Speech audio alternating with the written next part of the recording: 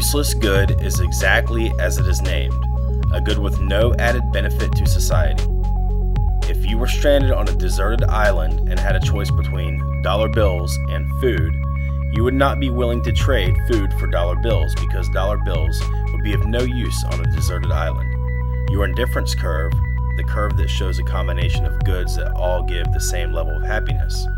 among these two goods would be a vertical line because it doesn't matter how many dollar bills you are offered, you would still rather have the food. If you had enough energy to collect either 20 pounds of food per week,